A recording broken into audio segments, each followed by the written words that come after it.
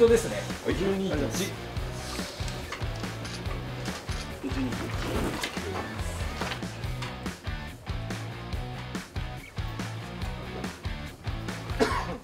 ダーですね。100アンダーですね。52ちょうど。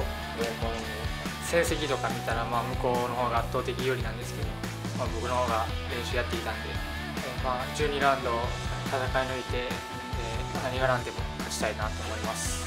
まあ、しっかり明日はもう仕上げてこれたんでもうそれをこうリングの上で出すだけですね。めちゃめちゃ楽しみです。ものすごい顔つきからこう楽しみにしてる感じがは溢れてますけど、わかります。いやまあほんまに集中して頑張ります